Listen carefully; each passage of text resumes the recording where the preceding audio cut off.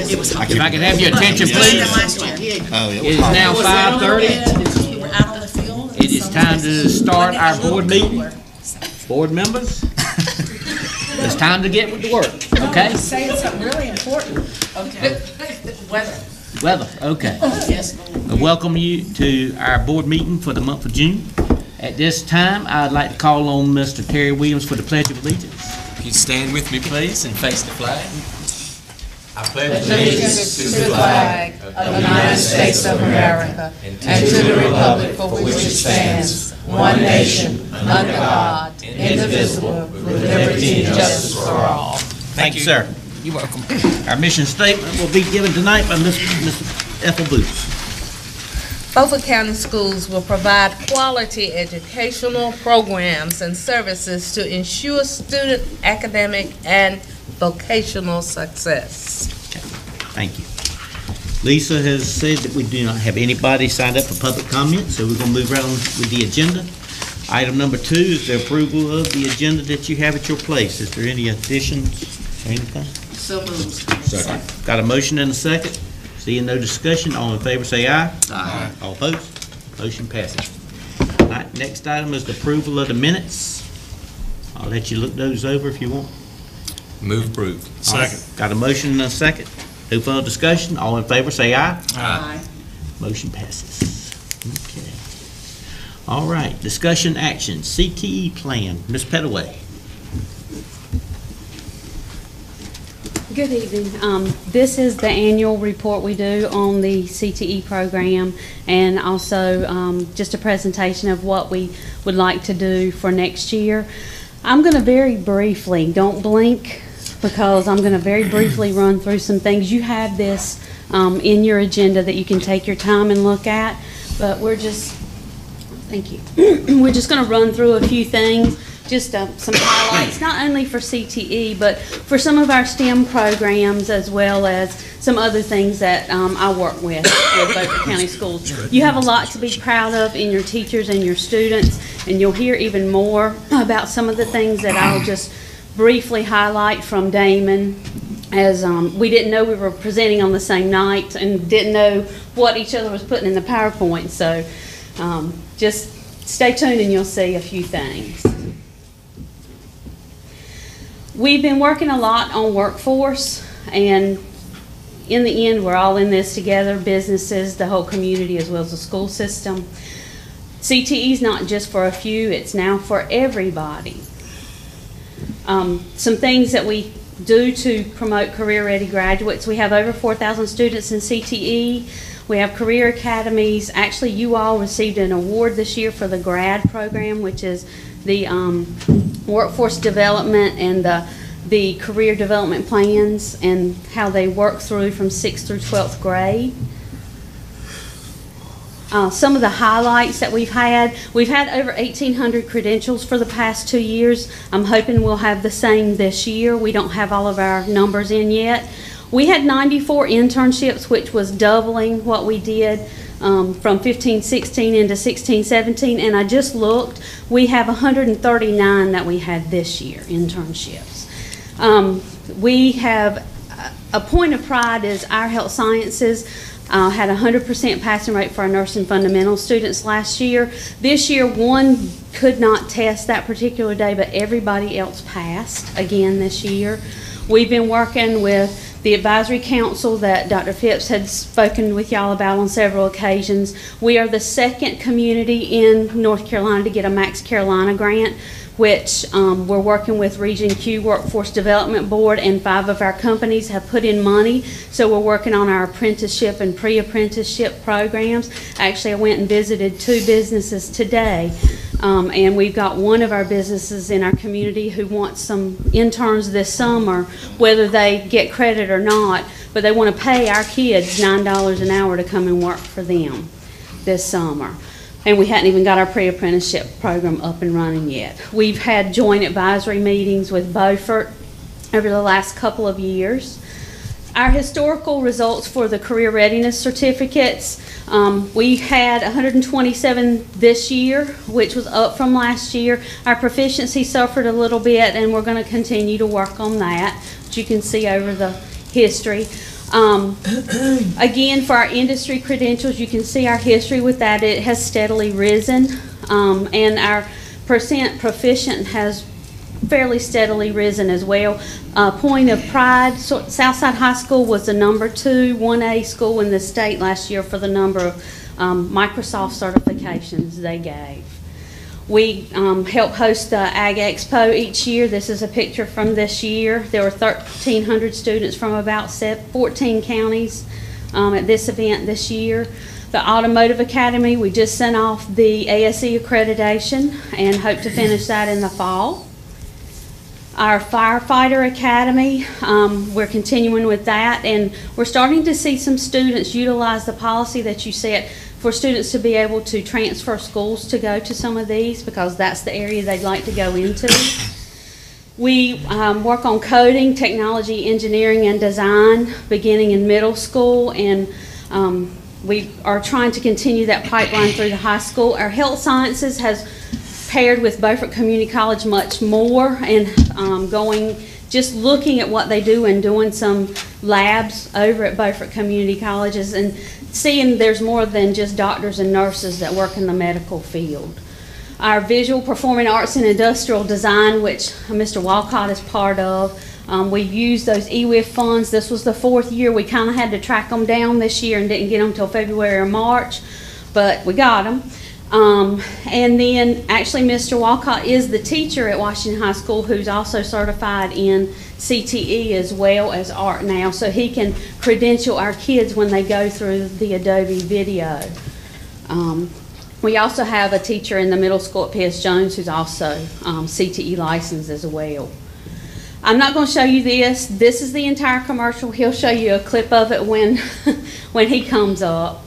These are just some pictures um, from the coding and the Sphero training that Mr. Huggins has done. We've made a lot of strides this year um, with things such as this, and I'll talk a little more about that later, but I just put in a few of the pictures. Um, our CNC machines at Southside and at Washington High School are being utilized. Um, actually, on a project with Mr. Walcott and Mr. Adams, they did the food pantry for the First Christian Church, and they did some design and some crossover between the two curricula this year. I was really proud of. This is a um, clean room that was constructed by Southside High School's carpentry class for uh, a local company. I started to say who it was, but I won't do that. Um, and they paid for the materials, but they couldn't get someone to come in and do it for them. So our guys did the clean room, constructed in the in the lab there. They took it apart and they're reconstructing it actually this week or next week inside the company for a printing room. Um, some more CNC pictures. We talk about pathway. I'm not going to belabor this point. Just think about this as a way we're trying to get our students to think about where they're going to be in their career, starting as early as sixth grade and sometimes elementary. And we talk about how that is done. And we still have ways to go in that. There's a visual for you, kind of give you an idea of what it is, what we should do as educators. We have many, many partners, which we are strengthening those partnerships constantly. Um, we do some real life things with our kids. That's the um, the money. I forget the exact name of it, but it's with the credit union. They come and do the real world money. We do cross uh, agency trainings, which you see in the bottom picture. Some of the roles and responsibilities that should be laid out for different people in the community. We do job shadow with the chamber each year, focused on our 10th graders. This is actually a prototype of Jimmy Buffett's boat that was built here in Beaufort County, and that's um, Martin Johnson, the economic director, in Daron Dance. He's a former NC Works director. We got to tour that plant one day. We had some, again, cross-agency trainings um, with many of our businesses represented uh, in two of our trainings this year because we were able to get an advanced manufacturing pathway grant. and just a, just some things that you can look over. I want to show you one thing, and then I'll be done.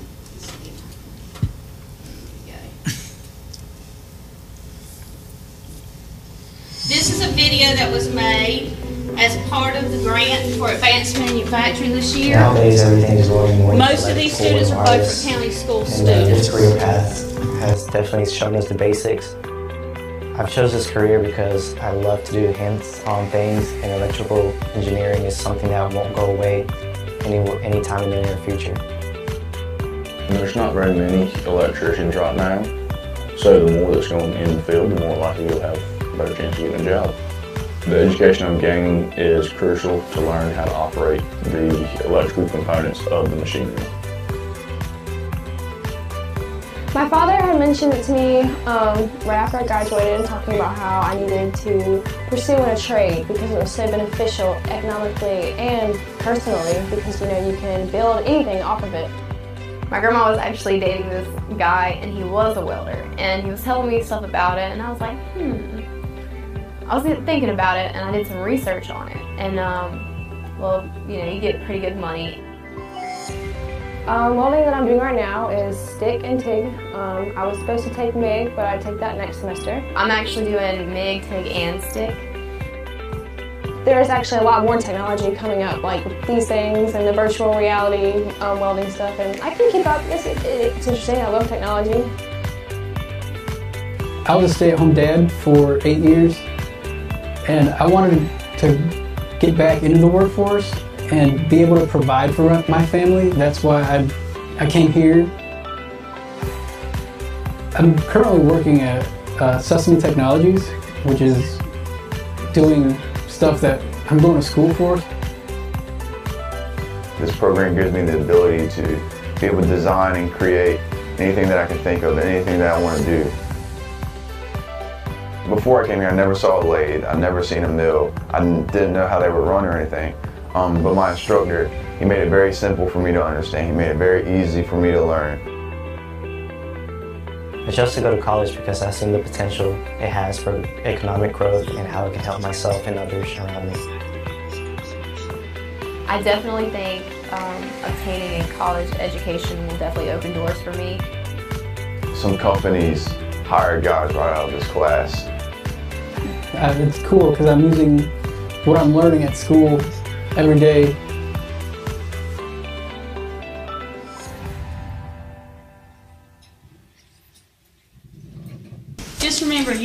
To be proud of in your community. Thank you. I would love for more high school students to see that video we just saw. I don't think they understand what's out there for them. That is one of the very things we are trying to get the word out about in various ways, and that's one reason actually that video was made, was to encourage. We have many, many students. I can't tell you how many thousands of courses we have them actually are taking at CCP through Beaufort Community College and through um, CTE courses. But those industry credentials and getting those kids early is what it's all about. And actually, hopefully, we can work with Damon. Um, we've talked about doing some additional videos, kind of in house.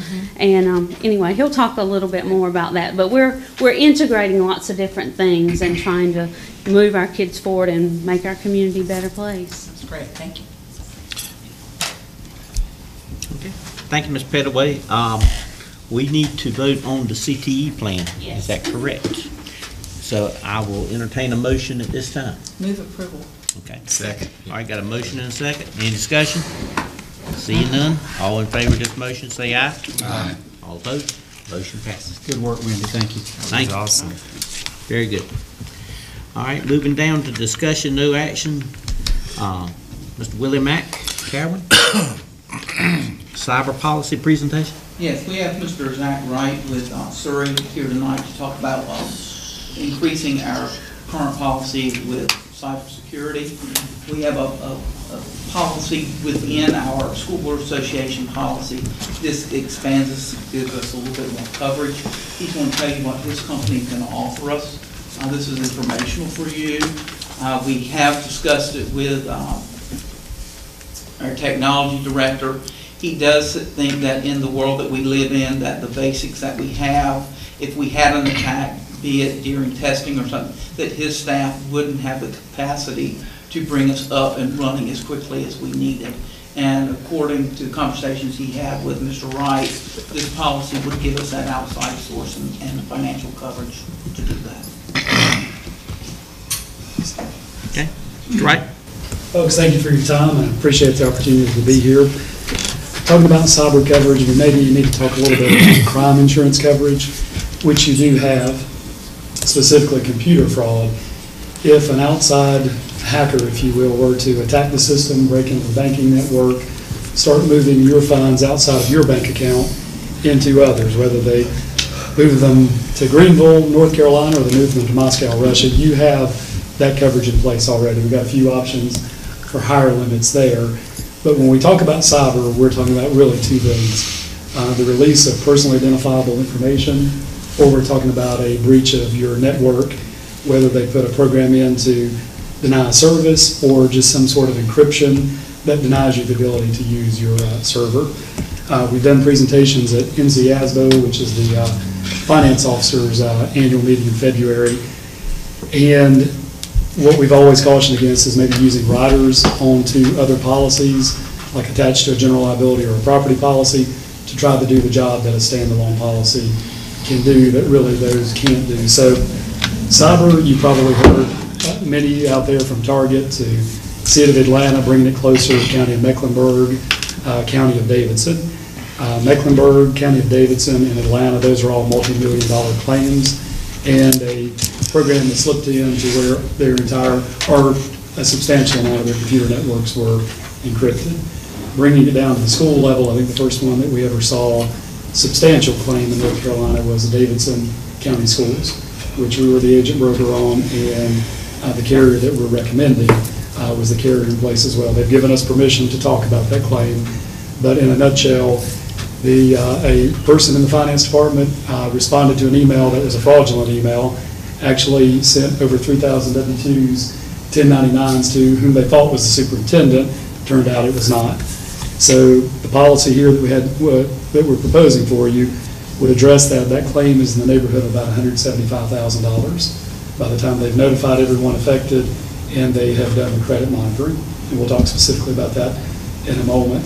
Uh, Another school system in South Carolina that the current, um, I guess, claim amount is around 500,000. Network breach started feeding uh, names, dates of birth, social security numbers uh, to the bad guys. And that claim has been about 350,000 to bring in outside IT folks to fix the problem and clear all the files. And then we spent about 100,000 trying to notify everyone and provide credit monitoring. Now, the one that I think has scared everyone in North Carolina this year, really it started in December of 17, is Rockingham County Schools. Now, what I will quote to you here is what's in the papers. We were not privy to that claim, but uh, I guess a email with a, with an attachment made it past the firewall. An employee clicked on the, on the attachment, and it encrypted the entire computer system at Rockingham County Schools. Preliminary estimates are 1 to 1.5 million. It has been easier for them to buy new servers and download old data than it is to go in and clean up those servers and try to get them back to good. So they had, I believe, the current policy that you have now uh, on- attached to a general liability policy, which has left them substantially short in terms of the payment that they are looking at. They're over a million dollars short. So what we have proposed is a, right now is a million dollar policy that would provide liability protection. So if you were to release name, dates of birth, social security numbers, employees when you get an auto or a home loan, they could not do that. They blame the school system for releasing their information and brought a lawsuit against you. It could be vendors, it could be parent, student information, any of those. Something I always forget too, and I want to mention now, this is not just a cyber loss. If they were to break into the storage warehouse and steal high school transcripts, bankers' boxes of paper from the 70s and 80s, that is a data loss. That would be covered.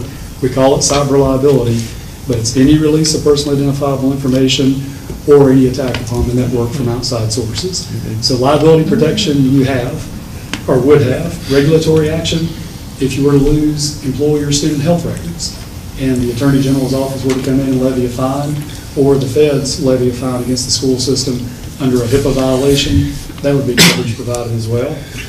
Event management would be the biggie. That is the cost to notify everyone, and that puts the burden on the insurance company to notify, because your retirees, if their information were affected and they lived in, let's just say 40 of the 50 states, you guys have to comply with those laws where they reside, not where the Board of Education is. Massachusetts is notified immediately upon discovery. It, that's, I don't know if that's practical, but that's what the law is there. So we'll notify everybody, provide credit monitoring, we'll bring in an outside IT firm to assess, maybe spend hundreds of thousands of dollars to help you guys clean up, rectify. We'll bring in outside legal, not folks that do wills and trusts, but people who deal with this type, you know, insurance coverage. We'll also bring in a public relations firm. Dr. Phipps, you can look on, online, again, I'm speaking of what I've seen online, but uh, your counterpart in Rockingham delivering about a 32-minute presentation to the media on what happened and what they were going to do to remedy. So we can bring in outside resources to all of you to help in that case. Cyber extortion, a ransomware attack, you come in Monday morning at 7 a.m., all the computers are shut down, and the only thing you have on the screen is send us $15,000 in Bitcoin. Well, they are set to, the insurance carrier is set to respond to those. Last, reputation guard, at the end, when it's all said and done, we can try to put out a positive information or a positive flow of information to you, to the public, saying, here's what's happened, here's what we've done to rectify that, and here's why we believe the data is safe with us going forward. So that would be the top coverages we're talking about. We would also include a full prior acts endorsement. If you started the coverage seven one, anything that happened that day or after would be covered. But let's just suppose there's a virus in the system that somebody put there November of 16, but they wait until October of 18 to activate. So we'll go back, as long as you don't know about it, we'll go back and protect you.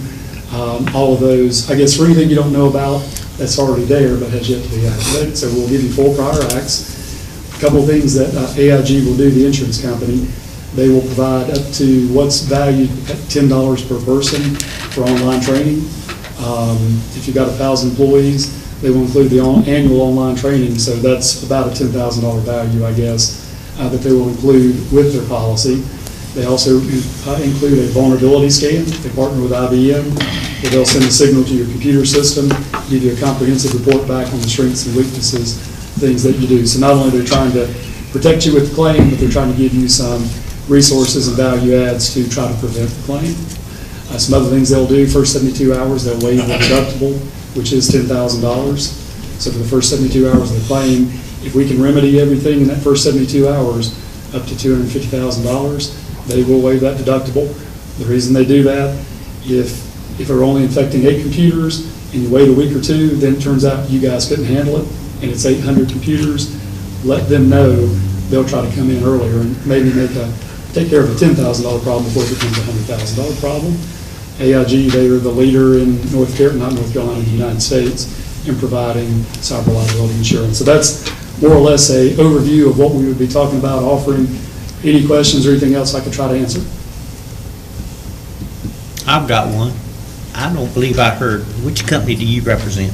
Uh, We work with AIG. You work with AIG. Now, we are Sylvan Insurance. We're an agent broker that represents many carriers, but AIG, we believe, has the best program, especially for public entities in the Carolinas.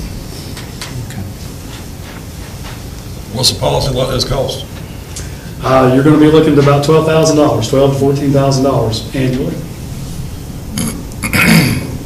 So as I've mentioned before, on the, on the risk management side, the services they offer, it's a $12,000 policy, but if you take advantage of the online training and the vulnerability scanning and the other things, you can in essence buy the training within the policy. And hey, AIG likes that because it makes you a better risk, makes you safer and less likely to click on those attachments. So I don't want to say, if you don't use those services, it's $12,000 policy, but if you'll take advantage and put those resources out there to employees and others, then it can sort of pay for itself. I think it's a shame we even have to talk about having to Yeah. deal with this kind of thing, but in the, in the world we live in, it's, it's what we have to deal with. It's a shame. Folks, we work, this may help you too, we work with 86 of the 115 LEAs, including you guys, doing some part or all of their insurance. And of those 86, approximately 60 have taken, not only taken coverage with us, but taken coverage with the AIG policy. And what, um, what kind of policy do we have now? What kind of investment? You don't have, no, it's, it's minimal. Willie, Matt, do you know what the, Right offhand, I believe it's, it's the rider within our policy, it's minimal liability, I believe. The maximum liability, I believe, I, I want you to refer to the policy and check with your provider. For liability, it would be 100,000, and then no more than 100,000 of expenses that it would pay. But riders on the policies are subject to far broader exclusions. In essence, free versus 12,000. For $12,000, this ought to be providing coverage. And this is your data. anywhere in the world. So if Amazon Web Services is hacked in the state of Washington and your data is compromised and they don't have enough cyber insurance or not any at all, at any at all, this covers you. So this is your data anywhere in the world, no matter if you guys cause the breach, one of your vendors calls the breach, or whomever it may be. So it's, it's, it's obviously more expensive, but this is, this is the policy that um, public entities are looking toward, and certainly the folks like Targets, the Fortune 500s, have had in place now for many years. It's a no action item. And you said the premium would be how much again? It, it, anywhere from twelve to fourteen thousand dollars, depending on which option you were to take. Okay, well, I'm, go- I'm leading to another question. It looks like that we're a pretty loyal customer of yours. Is that the best price you can do? That is the best price, yes, sir. Well, s- Since it's a no action item, are we looking just to give them direction on what to bring back to us? Ah. I mean, I show it as, a- it's a no action item. Yep. Okay. That's it. All right. Anything else I can provide? Does anybody else have any questions of this gentleman, Mr. Wright, at this time? No. Thank you folks for your time. Thank you. Thank you. Mr. Wright, it don't hurt to ask to get a cheaper price, does it? Uh, It it never does, sir, no, it does not. We did get the same request for W-2 information. Okay. All right. Thank you for your time, sir. Thank y'all. Okay, I just hit the wrong button. What's next? I got a, I got a question um, about the attachment that's there. Okay. About our, about our general policies. I- The one that just struck me odd is the flood insurance we're paying for the plant ops building. Part of it is the four hundred thousand dollars in content. The base flood for that area, I believe we checked today, was ten feet, and it's minus two. Two point seven. Two point seven. Oh. So, and that's driven off of the Fed, Fed's rate table. We don't have any, We need to move them somewhere else. I know, that's an extremely, high. I mean, twenty-five grand a year, I mean, after about three years, couldn't we raise it and save money? It's eight times more than what we pay for Snowden. yeah. An entire And school. we thought Snowden was bad. And I thought Snowden was be the worst Oh. one we had. And I, I just, I- you know, I- that's something we need to look I- at seriously. I agree. Yeah, I'm not questioning. We didn't say that. A a moved facility. We want to move the facility stand, is that good? Don't get too excited over You are two very different trains of thought, Stan. I just, Anything else, Butch? no, I, I just, that's something I think we need to discuss further. How much would it be to raise it? A lot. It'd be a Well, lot. that's a lot. In three years, you're paying, Yeah. in three years, you're paying over seventy-five thousand, though. You gotta look at it both ways. All right, moving right on down the agenda, Mr. Huggins, you're next. How are y'all today? Um, This kind of really dovetails greatly with what Jim uh, said in front of me, training individuals how to expressly use technology correctly. Uh, And it's something I think that we owe every one of our students uh, that we, that we, we touch on. Um, I want to talk to you today about BYOT. Um, It's not BYOD, which is device. When you say BYOD, bring your own device, it's kind of like bring your own cell phone. And this is only bring, bring your own approved technology. We at Beaufort County Schools would approve whatever technology that this child would bring into the schools. We've had an interest in this with some of our schools, and the technology that we're referring to is any uh, privately owned laptop, Chromebook, Android or Windows tablet, or an iPad, not a cellular phone. Um, It's difficult for teachers to see what's on a cellular phone or or iPad mini on that. Uh, Each device that would be allowed to be brought in would be approved by Beaufort County Schools, and a small decal would be attached to it for easy recognition of the teachers. Um, Our students are digital natives. The lowest technology that my daughter knows of is an iPhone. Uh, I myself know reel-to-reel, uh, and that's uh, ancient technology, but all she knows is an iPhone. And so she's a digital native, born with that in her hand, and she actually understands and knows more than my senior that just graduated from high school when it comes to an iPad or it comes to a a Chromebook. Uh, We live in a world today that is is consumed with creation and consumption, and it occurs at an ever rapidly rate every single time. And to access these tools and resources in this ever-changing world, uh, we need to understand how to use these tools, and the kids need to understand the appropriate level of which to use these tools. Uh, And I think it's imperative for their education that we teach them. I envision a learning environment at Beaufort County Schools as being technology is part of us, not apart from technology. And What would BYOT be used for in Beaufort County classroom? Well, first it would be used as digital textbooks. Um, Textbooks that um, we we have in digital form, projects, uh, that would be used for subject-related videos, research, and learning management systems. We currently subscribe to uh, Canvas Learning Management System and also Google Classroom, which is free. And teachers utilize these in, in classrooms that have technology to run their classrooms from a digital platform and have a paperless environment. Um, also used for collaboration or taking notes. And they also can complete their homework on their own device at home, even if they don't have the internet. There are softwares that are free out there that we can utilize that allows them to download the the information at school and complete it offline at home. And when they get to the school, it would be uploaded. So this kind of solves that problem with research today, that- I mean, with subjects that we have today. The focus of this whole point is curriculum. Students may not use any device or access to our internet for non-educational purposes at any time unless it is expressly guaranteed by and granted by the school administrator or by the teacher. I'd like to show you a video now in which uh, I produced at one of our local schools, which shows how not to use technology in the classroom and then how to use technology in the classroom. So if you watch this short two-minute video.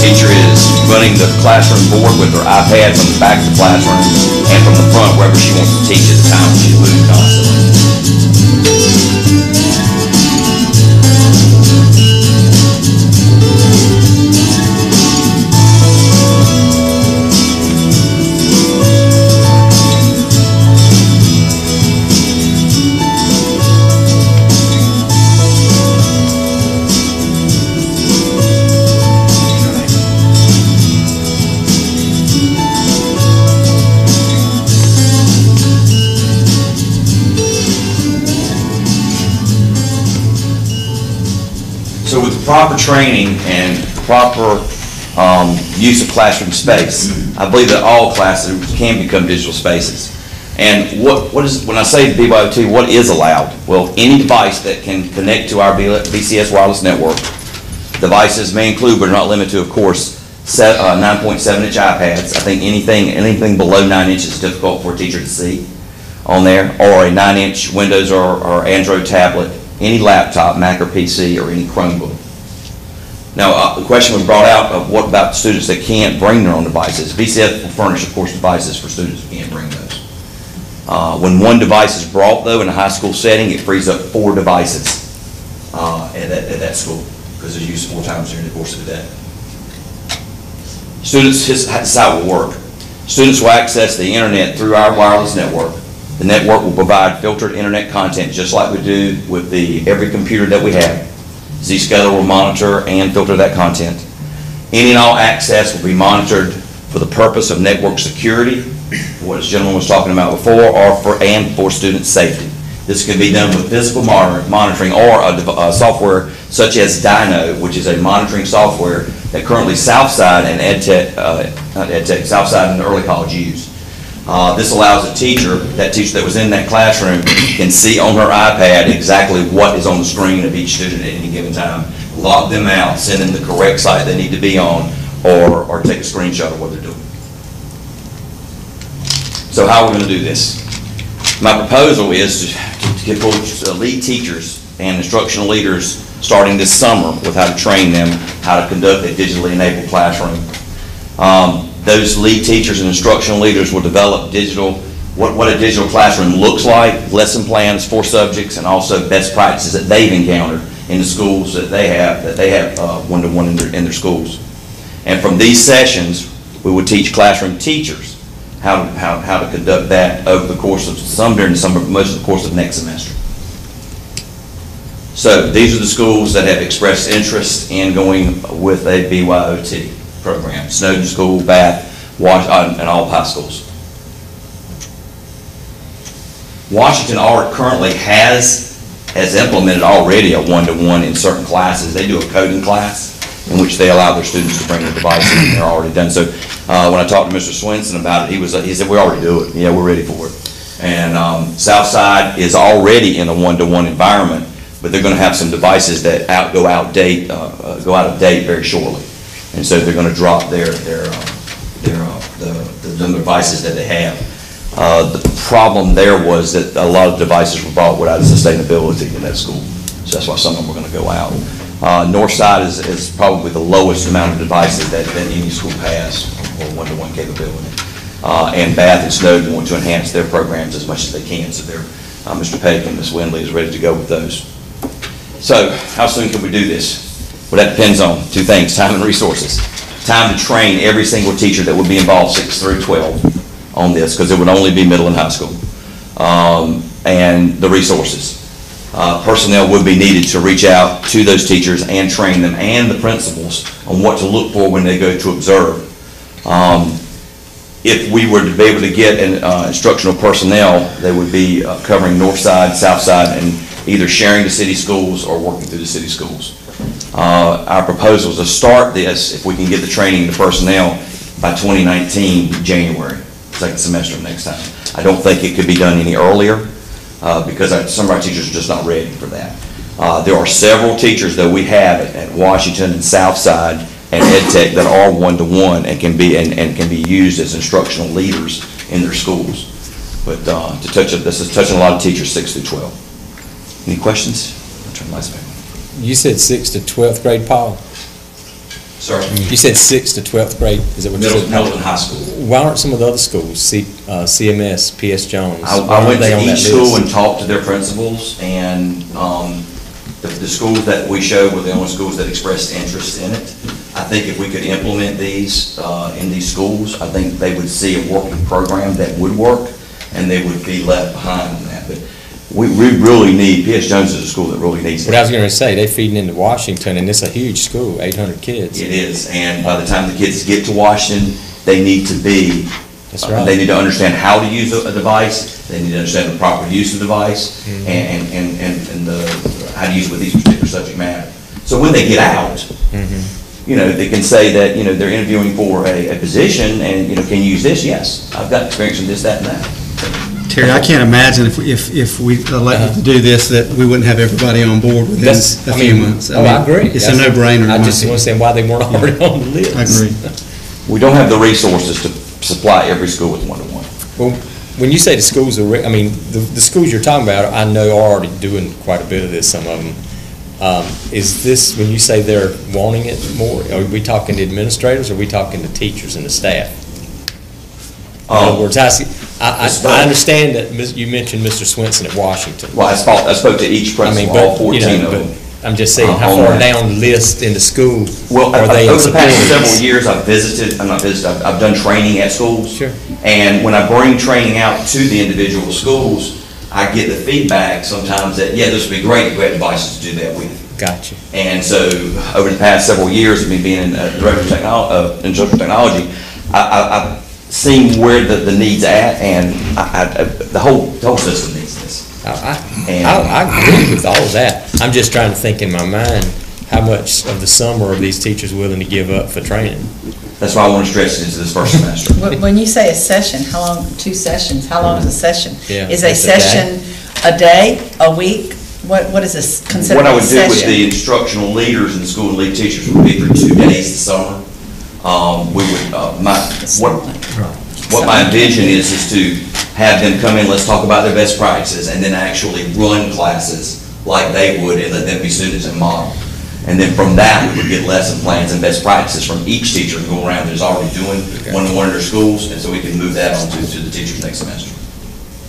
I just wondered why it would take so long to get it implemented, if a session isn't any longer than that, but Well, that's just. What do I know? That's for the lead teachers to uh, come up with the session for the regular teachers. Uh, The regular teachers that are being taught by them and helped in the session could take five, six, seven you know, sessions to do that, or over a period of several months. I I think I think it would be a put slow process, but I think it's like Dr. Phipps said, as it gets going, it'll be a no-brainer, and you'll have more and more that want to do it, but that'll just be a work in progress, won't it? yes, We yes, think it will be. left behind. You talk about policies that we have in place. Yeah, we already have a policy in place, 3200, which is in place that allows uh, the superintendent to direct the BYOT program. Uh, This is the plan for the program. And, and as a devil's advocate, I can understand the concern, uh, the liability comes into broken and stolen devices. Um, Is, is that an issue on the places that are already doing something similar? Uh, In the policy, it stated that, of course, Beaufort County Schools is not responsible for anything brought to school uh, on that, and that the individual that brings that is responsible for that. They're not required to bring it by any means. It's a voluntary thing. If they want to bring it, they can. And uh, I feel that if a person brings their own device, they're more, more apt to, to work with that device. They're more familiar with it. Right. Uh, It's probably going to be more up to date than what we can give them. Uh, And once this does get going and they see what uh, authorized devices are used, I foresee second semester Christmas gifts and birthdays coming in for educational gifts that would, for, for uh, students to have. And of course, like I said, if they don't have it, we have, we'll furnish the ones that don't. I, I can understand as a parent, some of the newer iPads, the more sophisticated they get, they can get up to eight, nine hundred dollars. I would be probably very hesitant to send that with my twelve-year-old, Oh, yes, sixth exactly. grader, Mhm. Uh, on the bus with a device like that. Because then, the way they sling book bags and things like that, I can see where, uh, once it comes home with a broken screen and a parent is calling, wanting somebody other than his or her son to be responsible, you know, I just wonder, so we become totally not liable for it, no matter how it's broken or stolen, right? Well, I'm, I'm assuming if, it- if it's, the, the teacher breaks it, um, we would be liable. Right, sure. Right, but, uh, the policy states that we're not liable for that, that's what the policy states. And the user agreement would have that in it also. Okay. The, the, uh, It'd be understood before a child ever takes it Yes, from well, home. they would have to, like I said, to be an authorized device, they would have to have a class on how to, how to act, how to treat a device. Uh, they would sign a user agreement, the parents would have, uh, we've discussed having a meeting during orientation. Okay. About having a parent meeting, how to handle devices and stuff like that. So we're gonna go out of our way to make sure that devices are, are, are handled properly, but of course, something's gonna happen. Sure. Sure. Great Any other questions? Any questions, comments? You got a lot of ground to cover. I know, a lot of ground. So, um, hopefully you guys would consider some personnel to helping with this, with instructional technology. I knew that was leading to something. Yeah. Okay, five point three, Washington High School robotics presentation. Mr. Walcott?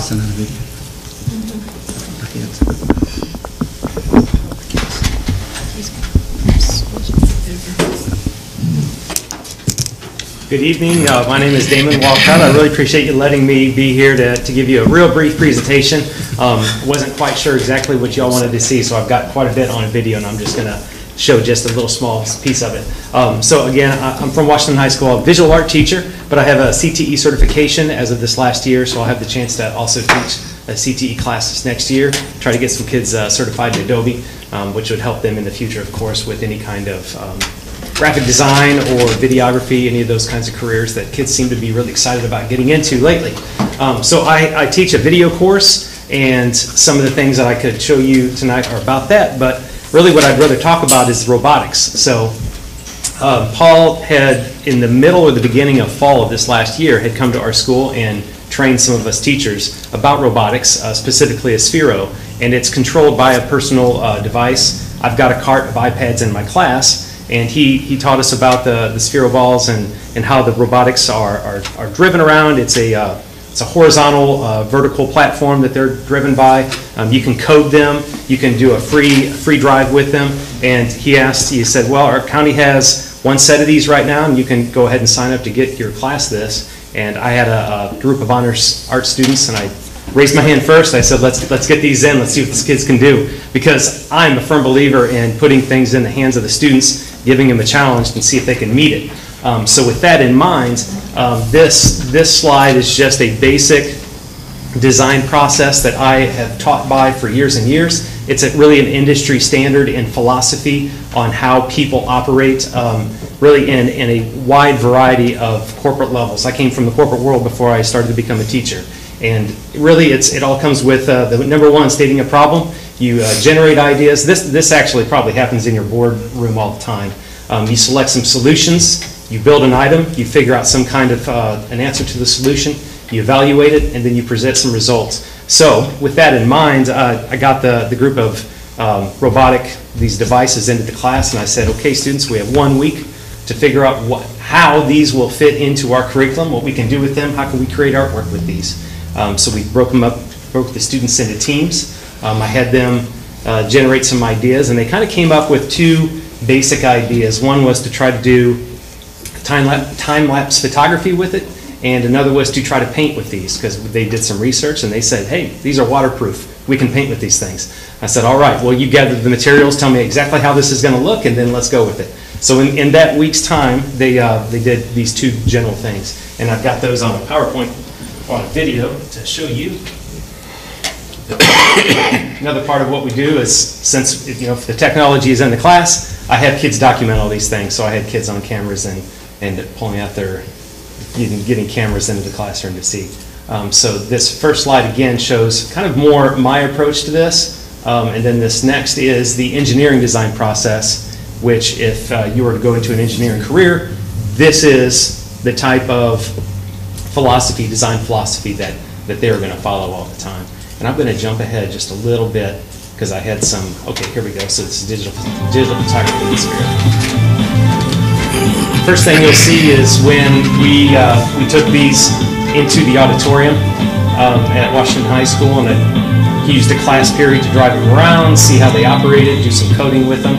Uh, we had cameras all over the place. This was one student's idea to do a time lapse of the entire classroom for that class period can't really see, but most of the time I'm just monitoring the process and I'm asking questions, getting them to make decisions, getting them to change and challenge their ideas, think of new things to do. Here's some of the digital photography we came up with. That was spelled out through coding. And then this was the painting. So the next few days, we, uh, we did some preliminary preliminary designs just by taking a cardboard box I'm very frugal, so we, we take anything that we can recycle. So we were talking about building frames, and I sent a kid down the hall and to get a cardboard box. that worked just fine. So here we're driving this around, trying to see how we can uh, do random random paint design. We talked about color theory. Um, so this just lasts for a few seconds. Some of the paintings that resulted from this.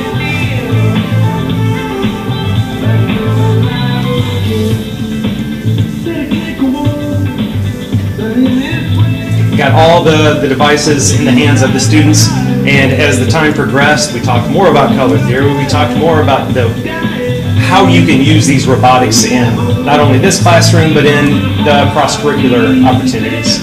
This is where we said, well, why, why go small, let's go big. So we built a, went down to the construction, got some scrap wood from them, got a canvas that was donated to us from a local company, and we did a large painting, which Paul and I have, and we can show you this in a few minutes what's amazing here is that the process of design that uh, Mr. Walcott and the students went through, with this, they were able to take smaller paintings and learn what layer to add what layer to what layer to get a defined, crisp, crisp painting that pops. And this is just a phenomenal thing. This is what I want to show you now. Yeah. Is the painting never touched by human hands. A robot painting.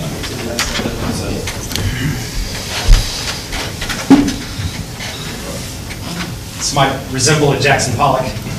This unfortunately is not worth millions of dollars, but, uh, yeah, it's, it- like Paul said, it's, it's an interesting experimentation with robotics in the visual arts. Mm. If you can do it in the visual arts, you- I think you can pretty much do it in all three of those. Turn around to the camera, yeah. One of our goals this year was to bring technology to art and music. You got it upside down.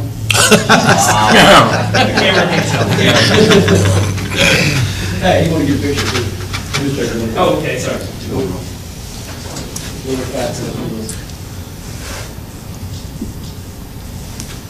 What, what's going on behind the scenes with the Sphero, which was the little ball that you saw, is actual coding that students are able to do that, that control the direction it moves in. It's computer programming that students don't even realize they're doing. It's what I did back in the 80s and 90s of actually having to, to code computer programs. They're learning it in a, in a neat way, and it, it really is a way to advance and accelerate what they're able to do on a, on a coding. And if you ask, do students, will they want to do this kind of technology? This, just this afternoon when I was leaving, my 12-year-old was at our kitchen table coding his own game on his iPad. I said, where'd you get that game? Oh, I'm making it, Dad. I I coded it myself. Mm. Same coding that uses the Swift. Yes. The Swift robots, the same exact coding Dr. Phipps is talking about, is Swift programming. That's the same thing that every app on the iPad or a iPhone is made. Same technology. David, will you talk for a minute? Because I was impressed when I heard you mention this about the food pantry and, the- and the way you moved between different departments and different areas of curriculum to solve a need, but you pulled in students from all across the school to do that. Can you Absolutely, just yes. explain to them what you Um, did? Through, through conversations with community, um, a community church, uh, conversations with uh, social studies teacher in our hallway, we were talking about need and the hunger. um, that- that- We have a food pantry at our school already, and we were talking about that, and the community um, uh, organization, they said, well, you know, there are different ways of, of handling hunger. Could you all come up with some solutions? And I was in a meeting, and I said, well, you know, put the task to high school students. They're brilliant minds. Let's see what they can come up with. So we did a few days of uh, hunger study, um, worldwide, national-wide, uh, state, county, and then in Washington. And the kids were surprised at the numbers of how many kids in their own, in their own peer groups go to bed hungry, uh, go to school hungry. So I, I gave them the challenge, how could we, how could you uh, address some of these hunger needs? And they, they said, you know, that we did some research, give them a couple days, and they had technology in their hand. They went online and they said there are these, these free pantries. And I was hoping that they would come up with that. Um, that's what I really wanted to, but they came up with it themselves. They said, we want to build free pantries. So in my art class, uh, we did prototype designs, and they built different prototypes. I had the uh, local organization come in, they judged the designs. Uh, we took the winning design, and I went down to our construction class, and he programmed that into his, uh, how, whatever the, what's the name of the? CNC machine. And through that, that collaboration from the design process to the building process, we're able to deliver that product, and now it's installed on Third Street in Washington. Um, We did the ribbon cutting a couple weeks ago, and now it's providing food for anyone who would like to come and take it. And our hope is that with that design that's already programmed in the machine, um, if somebody anywhere in the state or in the United States or across the world were to say, we'd like one of those, it'd be a few simple pushes of the button. The machine will cut it back out. We could send them the kit. And here's your little free pantry to serve your community with.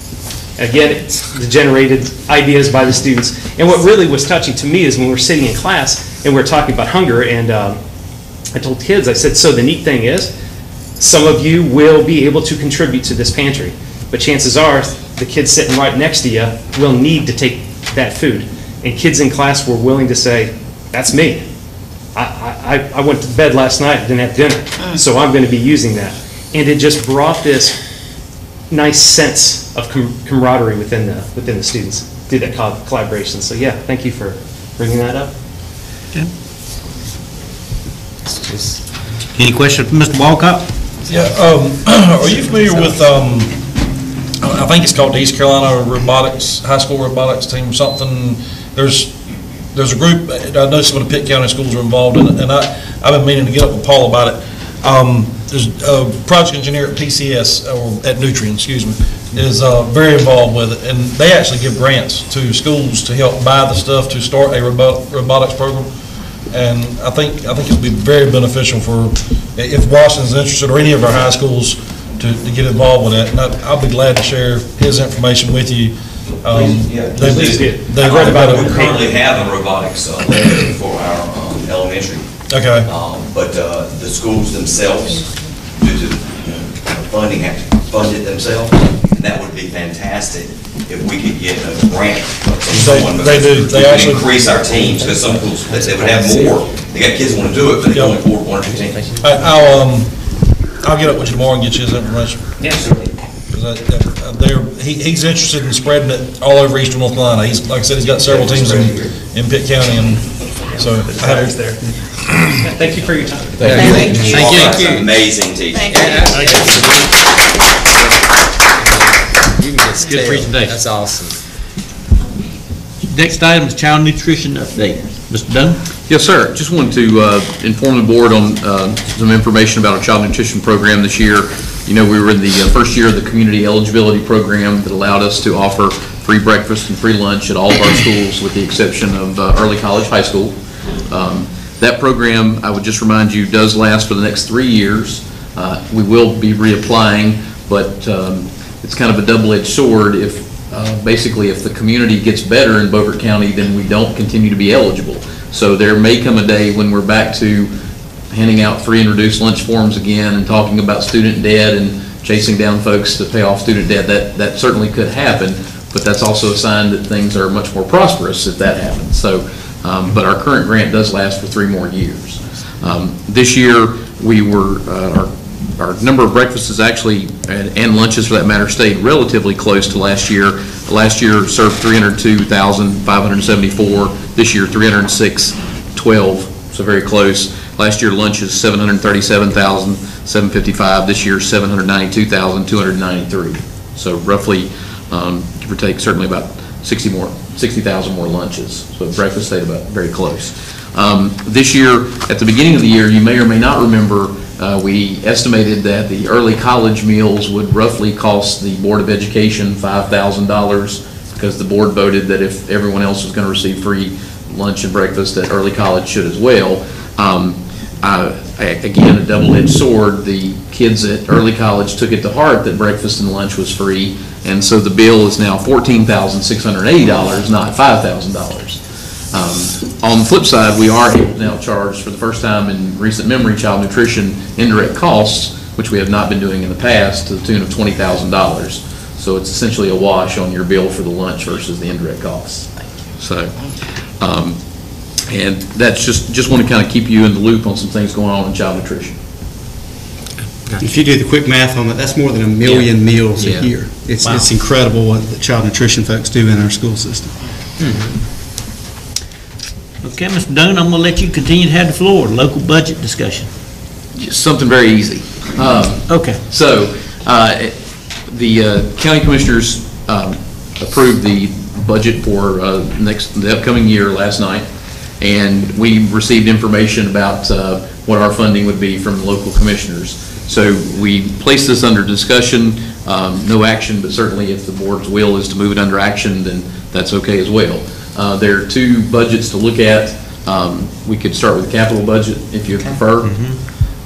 That's fine. The document that you have in front of you, the amount at the top, the commissioner's projected appropriation, that is the actual appropriations, no longer projected, that is the magic number for 1819 for capital projects. Um, What you have, you have the potential savings for some projects in the past, all the way dating back to 15 through 18.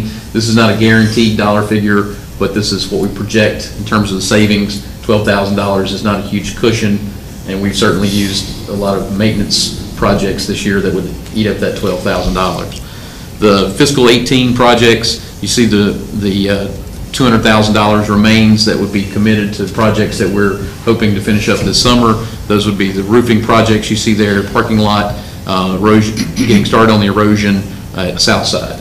Uh, We're in the process of placing out uh, RFPs for the remaining projects that haven't been started, and with the parking lot and paving, the roofs are already, Stan, correct me if I'm not bad mistaken, already under construction or- and/or finished. All but two, yes, there's two still out for it. So, in theory, assuming that all those projects come in at the projected amount, we will spend that two hundred thousand, one hundred seventy-seven and fifty-seven dollars this summer to complete that list.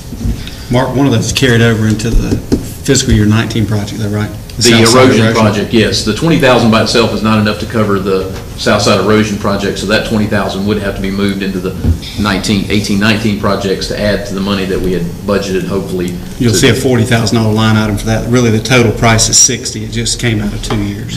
So, and the board decided these were the fiscal year uh, 18, 19 projects that you would request. So there's the list. Um, Of course, the total on that is $1,364,800, which puts us 249,105 short of what the commissioners gave us.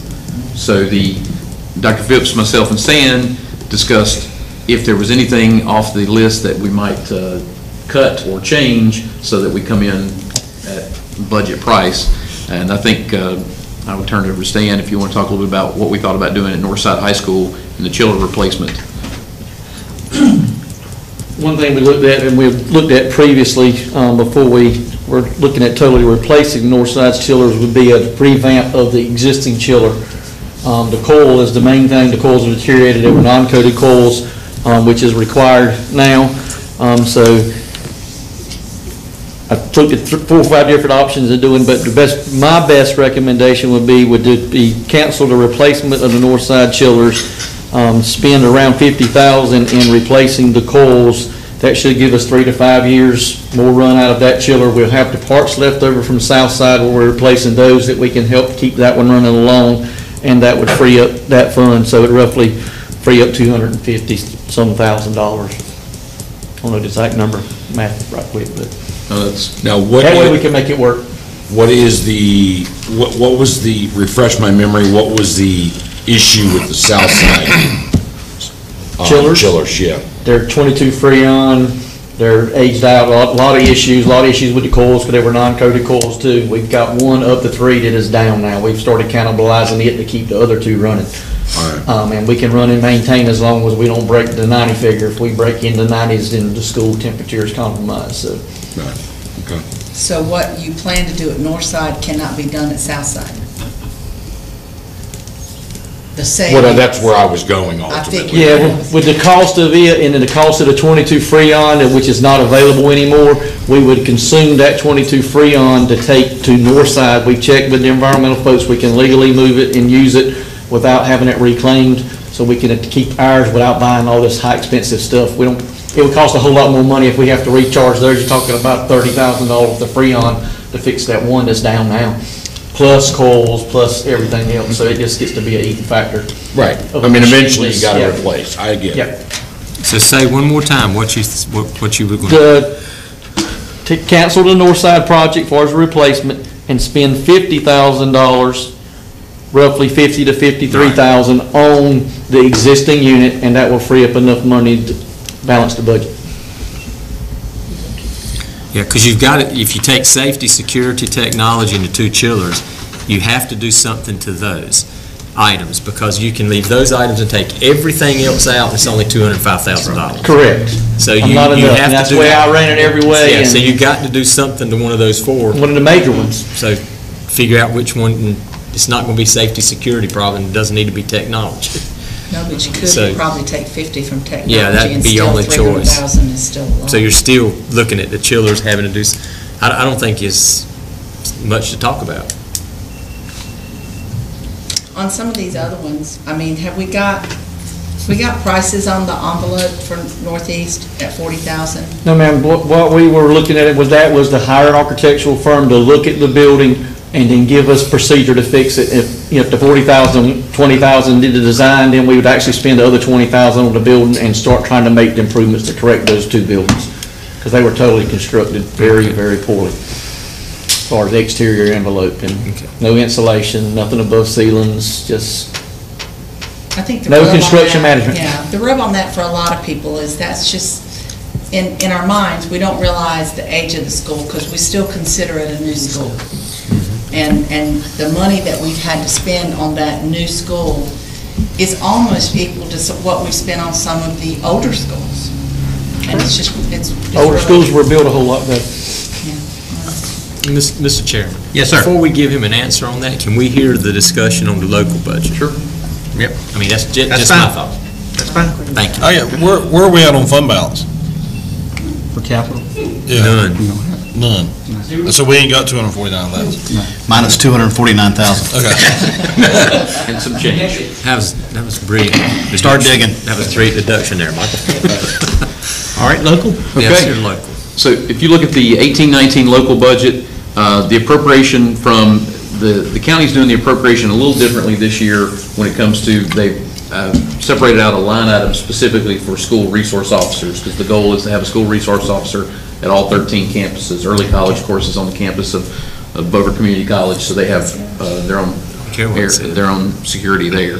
So the local current expense, uh, 14,392, 140,000. Then school resource officers, 765, 362,000, for a total appropriation of 15,157,502. We anticipate fines and forfeitures hopefully in the number of 300,000, which would bring us to total local county dollars, 15,457,502. The costs, recurring costs uh, for this year, we anticipate 14,000, excuse me, $14,887,005. We can deduct 194,865 from funds that we previously used that were state funds dedicated to school resource officers, and we can reallocate those to other areas in this budget, since the line item for the school resource officers from the county now includes all 13. So that brings down to neat 14,692,140. Do you know how they came up with that total? 50 I'm, I'm assuming it's a, it's a per divided I by believe- thirteen, but. I can't give you the exact number, but roughly 58,000 per um, employee times. Did they get that figure from the sheriff's department or office or whatever we're supposed to call it, or did they get it from the state? I They mean, use I- the that's my median- question. They use the median salary for their officers. Okay. So that Because there figure, was some discussion from that office that that was not exactly the correct amount. That's my concern is, is that what we're really talking about, or is that a guesstimate? That's the number they gave us. Okay. okay, so that Wow. 765,000 is for 13 positions. Yes, sir. The seven we're supposed to have, and six additional. Yes, sir. So, Okay. but now that opens up another question I have on this, because I'm not a big fan, I just want to go on record for this, of working with the sheriff's department again on this, because they've let us down again this year, as this whole board knows. What guarantees do we have moving forward that we're going to actually have these 13 people at each of these schools? Well, we're getting ready to start the process of looking at our contract for next year, so that's something that we would discuss with the sheriff. Is that, is that seven hundred and sixty-five thousand dollars gonna come to Beaufort County Schools, or is that gonna go to Beaufort County Sheriff's Office? It comes to the school system, and then we would, whatever vendor, in this case, the sheriff's office, we- we've been using, we would turn around and send it back. And I want to piggyback on what I was talking about is salaries do not equal the presence of an officer. And what I mean by that is, what was explained to me is that it's not just an officer. It is training, it is a vehicle, it are, there are other expenses, and who pays those? Right. Because an officer doesn't drive their personal car to a school to be a resource officer. They drive the car from the sheriff's department. So what was explained to me was that the salary is not what the cost is. So my concern is, they're gonna cover salaries, but who's gonna foot the bill for the vehicles for each officer, for the training for each officer? Do you follow me? Well, now, those, I don't want those there to school, be a res- surprise. those school resource officers ain't making fifty-eight thousand dollars a year. No, no, they're not. I mean, so, I- I I'm, don't- I'm assuming, I I'm assuming that's a padded number to, to cover My understanding training is the 58 vehicles. is salary and benefits for individual and. They don't make that much money. They don't And- make and that. other costs. I I don't mean, have to even ask them that. I- I just When- wanna When we, make sure when we were talking I'm the making city, that and little and we were dealing with that, No, we make we had that. an I item know by that item for a fact. I breakdown don't even have to that check. included weapons and I was on that uniforms and all contract for that. three years as chairman. I know that's not true. We met with uh, Brian today and talked about were there any other costs, and we were told that there weren't, this was what the SRO cost would be to have them in the schools. Now, whether that's gonna be What does picked up that by ma- somebody What does that else. include, though? Yeah, can we just check and make sure? Because off the record, Okay. off the record, we, I was, I, I had heard something different, and I just want to make sure we're covering ourselves, and that there won't be a hidden cost that they don't come up and go, oh, well, you've got to provide us with five more vehicles. I just want to make sure, you know, this is, this is not my money, this is the taxpayer money, and I'm not going to spend money that we don't have. Before I go any further with this on safety, or this is considered like a safety and security thing, Mr. Chairman, is this a conversation you want to have in open session? I 'Cause I would got some more to prefer say. not to have it in open Okay, session. because I got some more to say about this. I would rather But- keep it in closed session. About Okay. This, the SRO, which I consider part of our safety and security program. I mean, before I say anything else, I just want to know, am I supposed to say it here or in closed session? Well, it depends on what you're saying. If you're Well, talking when- about well, once I say it, it's going to be too late to say it was the wrong thing to say. Maybe you could ask me ahead of time. Yeah. If you're Okay, talking well, I'll about keep their it. performance under the contract, that's, that Okay. should be done in public record. Okay, then I'll keep it, I'll keep it clean. Why would I want to go any deeper into a contract with these people than where I'm at right today? When I visited schools this week that is supposed to have a resource officer, and they told me they have not seen a person from the sheriff's department since February. And they're supposed to be under our current contract. Is our current contract, which we just recently signed because we never could get a contract, is that the one, that does it run out in the June? I mean, because we literally just signed it, I believe, Mr. Chairman. It ends the end of this month. Okay. I realize they've passed the budget, it's in the budget, and they're commissioners, and that's their authority to do that. What happens if, if, Well, this doesn't- and I'm just one person, but what if I say, thank you, but no thank you? Well, this is the amount of money that the county is deeming Right. what it costs for an SRO. Right. And unless I'm mistaken, there's no guarantee that we would have to turn around and use the sheriff's department. I mean, this is the money that the county has allotted for us for SROs, but they could come from another source. But I, I'm Right. assuming that, I don't know that. Well, my concern is that if they can't hire a person since February to replace the one that we haven't had, how do I think they're going to hire me six more in addition to that? I mean, I'm just, I'm, I'm, I want to work with them because I think that's probably the way to go. Right. But, Mr. Chairman, we can't get one hired since February. How Why we do I get think we're six? going to hire six? I Is understand. this a But- discussion that we need to have with their I representatives? think somebody needs to be talking to I know. them, and reached out they to need him to come today. talk to us. I And think did we you need get a to back response up on just it? a Let's little hope we get bit, to get because I this meeting think what set they're up. doing When here, set up, Terry, and correct me if I'm wrong, Mark, they're saying, hey, out, this six hundred, this seven hundred and sixty-five thousand dollars, we're gonna give it to you. The county commissioners are saying, you can, we're gonna give you this to you, but these must be used slotted for resource officers. Right, it's We a can't line item. utilize those funds for Right. anything else. That's That's- They're not saying we have to work with the sheriff's department. We can go and work, work with somebody else. Okay. All right? All right. So, I mean, that's, that's the understanding, correct? As far as I understand. Okay. Okay. So I'm happy with that. At least they're giving us something. I understand that. To, to Carolyn's point, it may not cover everything, right? Because oh. I, I was gonna ask, i- if, how, are, are we guaranteed that the sheriff's office is gonna give us thirteen people at fifty-eight thousand? Well, that would be uh, something that would probably be in the next contract. right, because I don't think. Well, what are we, what are we paying per person now? I guess we just need to have a I don't conversation with them. I think we desperately need a conversation with them to go any further. Yeah, that's, that's all. We just need to talk On- to on them. that- Because on too many that things not subject. clear. Are we paying for the think use of vehicles? I have no idea. what- I'm just No, not they understanding why provide we, why they need I, I think we just pay a flat, a flat fee this. Pay a flat amount. Right? In Will the not- original conversations that I've been able to track back from Mr. Prisman, who was their finance officer, and Mr.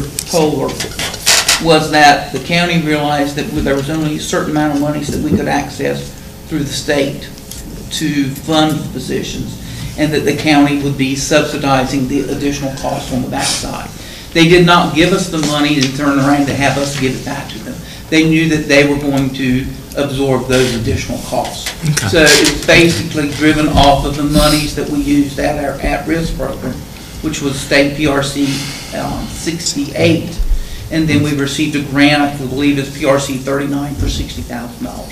So those are the monies that we've been giving them uh, on behalf of Beaufort County Schools for the SRO program, with the understanding that they were eating or absorbing some of the costs on the backside.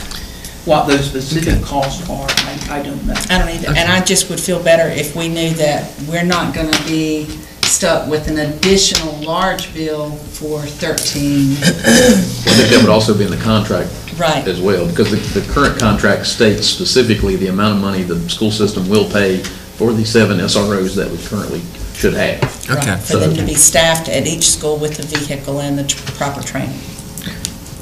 with what has been said and what I've heard, I'm assuming we're not gonna move this to an action item tonight. We're gonna leave this as a new action until we get some more answers. Is that correct? Well, I mean, I think the county's giving us done seven that hundred part, yeah. sixty-five thousand dollars for SROs, whether we turn around and use that them with the sheriff's department versus some other entity.